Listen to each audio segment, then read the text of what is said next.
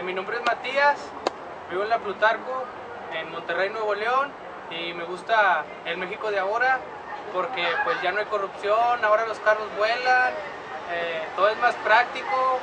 Eh, quisiera comprarme una casa en la luna, gracias a Dios los Monterrey ya tiene muchos campeonatos y es el equipo uno del mundo.